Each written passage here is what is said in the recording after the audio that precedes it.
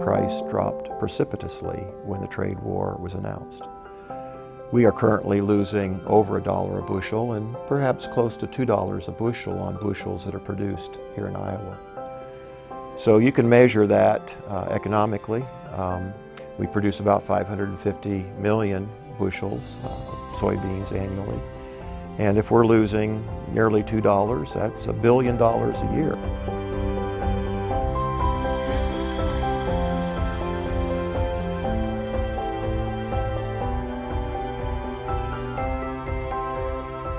Disappointed, yes. That that would be lots of optimism, and then it doesn't, and it goes away, and up and down, like like a roller coaster. We as farmers feel like we need and must have better trade negotiations than what we currently have. We feel like we were selling our products too cheap. They were they were worth more in the world market